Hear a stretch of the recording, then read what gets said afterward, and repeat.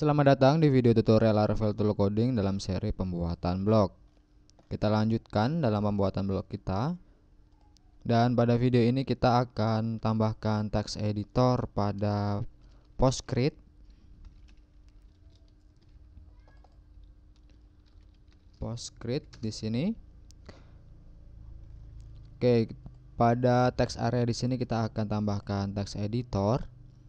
Namun sebelumnya di sini saya akan sedikit memperbaiki kita pada halaman ini. Sebelumnya sudah saya singgung bahwa di sini kita masih bisa membuka halaman ini tanpa harus login. Oke. Itu karena kita belum tambahkan middleware. Kita akan tambahkan construct Contohnya di sini ketika kita ingin membuka halaman home maka di sini dialihkan atau secara otomatis terredirect ke halaman login karena di sini pada controller untuk home terdapat function dan method construct oke okay? dan di sini menggunakan middleware out jadi kita tidak boleh atau sebelum login kita dilarang melihat atau masuk pada halaman home. Dan kita akan buat pada halaman PostScript. Di sini. Kita cukup mengcopy ini saja. Cukup mudah. Dan kita pastekan di sini pada post controller. Dan kita simpan dan di sini kita refresh. Maka kita diharuskan untuk login terlebih dahulu. Oke. Dan di sini pada kategori controller dan juga tag belum juga kita tambahkan.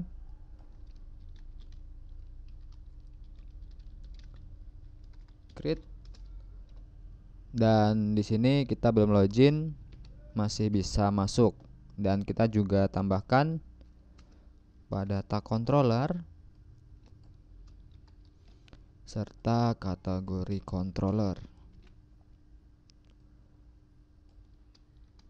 Oke, kita coba kita refresh dan di sini terredirect ke halaman login. Oke, dan sini saya akan login.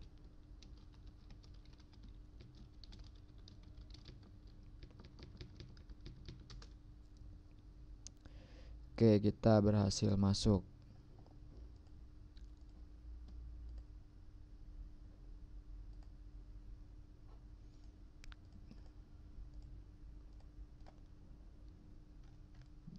Oke, seperti itu. Silahkan dibuat.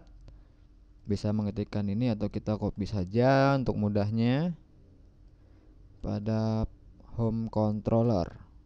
Oke.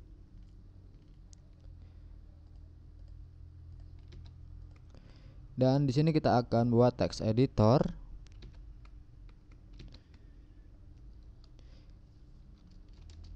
Di sini saya menggunakan CK editor.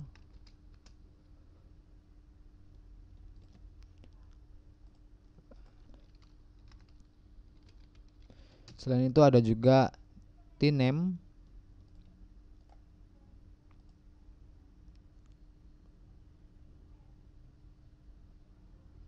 ya silahkan dibuka. Tentu selain dua ini ada lagi yang lain. Silahkan dicari sendiri browsing untuk mencari text editor mungkin sesuai dengan keinginan teman-teman bisa mencari sendiri. Namun untuk contohnya di sini saya menggunakan CK editor. Di sini saya close saja koneksi internet saya sedikit lambat. Oke di sini kita akan menggunakan CDN.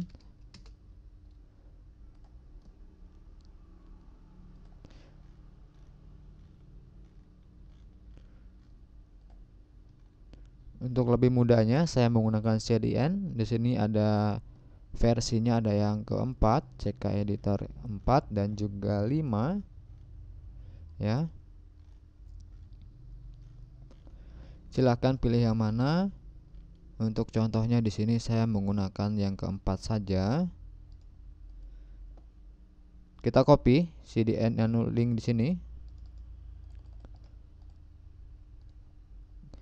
Ini kita close karena kita tidak membutuhkan dan kita buka pada include dan head di sini kita paste di sini. Script di bawah dan kita simpan. Selanjutnya kita akan tambahkan ini script editor.replace dan ini adalah ID sorry maksud saya name. Nanti akan mengambil name dari text area yang kita gunakan. Oke kita lihat dulu di sini kita buka blog dan create .blade.php untuk pada project kita di sini kita nanti akan memanggil konten.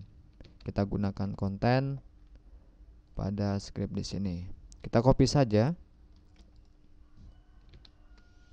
Dan kita paste di bawah sini.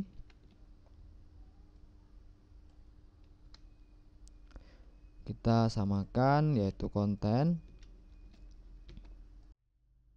kita simpan dan kita coba. Kita refresh. Oke belum muncul. Di sini kita belum memanggil JS dari CK editor ini. Kita akan memanggilnya. Di sini kita akan tambahkan yield. Yield. Dan ini kita beri nama misalnya JS dan kita panggil menggunakan section. Dan tadi namanya yaitu JS kita copy saja. Kalau misalnya ini namanya lain tentu di sini harus sama ya. Oke kita coba kembali.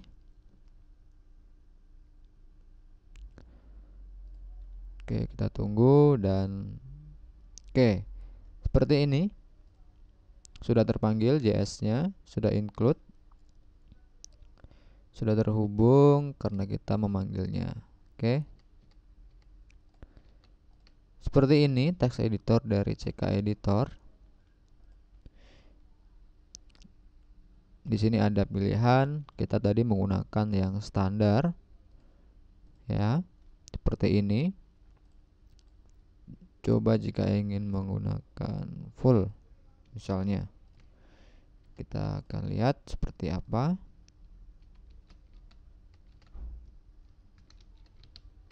Simpan dan kita coba.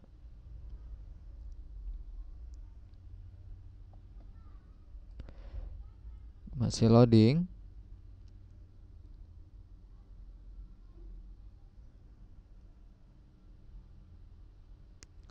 Oke dan seperti ini lebih lengkap fiturnya di sini.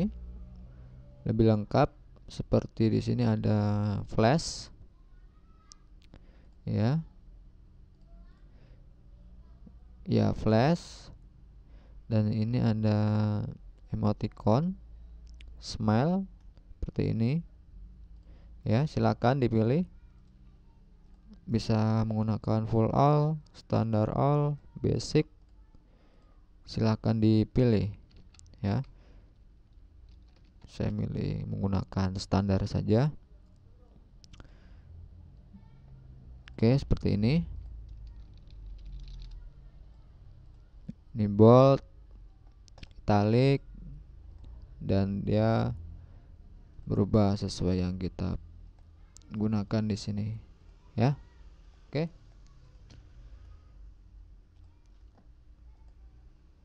silakan dibuat, silakan dikerjakan. Di sini bisa menggunakan yang versi ke-5. Kalau versi 5 ini kita bisa menggunakan ID. Ya. Oke, silakan dibuat, silakan dicoba. Kita sampai di sini dulu, kita akan lanjutkan di video selanjutnya.